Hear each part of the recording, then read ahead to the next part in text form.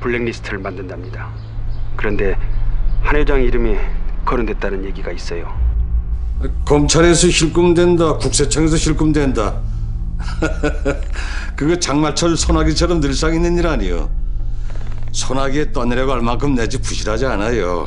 뭐 이런 일로. 예, 예. 조만간 봅시다.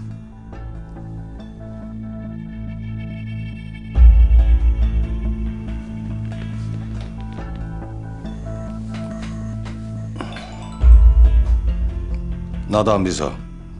노상덕 지검장 이번 주 중으로 약속 잡아야겠다.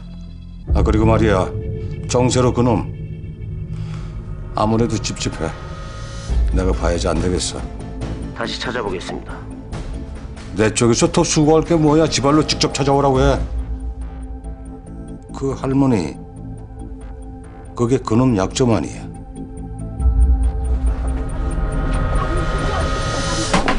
이거 봐요. 아니 이거 봐. 아이고 이거 왜 다 가져가는 거야? 어? 아이고 이거 좀. 아이고 좀 봐. 아이고 야, 이거 봐. 아이고 저. 아니 가만. 아이 아이 내가 세상을 잘 몰라서 나한테 왜 이러는 건지 나 정말 하나도 몰라서 그러는데 또 이렇게 막 내쫓아도 되는 건 거야? 어? 나라에서 뭐라고 안 해? 대단한 손주님 둔 덕분이죠, 뭐. 이건 편지입니다. 정세로 만나면 꼭 좀 전해주세요. 아, 이 집 떠나면은 내가 어떻게 세로를 만나? 아, 우리 세로. 집에 오고 싶어지면은 어떡해. 오고 싶어도 올 수가 없잖아. 여기가 우리 집인데. 아, 그 빨리빨리 좀 합시다가. 아이, 아, 이거 봐요. 이거 봐요. 아, 아, 나한테 왜 이러는 거야? 나 이딴 거 필요 없어. 야, 너 잡으려는 던지지 마! 새끼 보고 이렇게 잡혀줄래? 가면, 가면 뭘 할 수 있는데!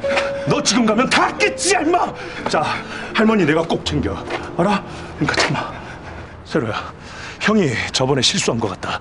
2억 받고 거래한 거 내가 한태호를 더 자극시킨 것 같아. 지가 먼저 밟았잖아. 밟혔는데 그걸 꿈쩍도 못해. 너 당한 일 크다.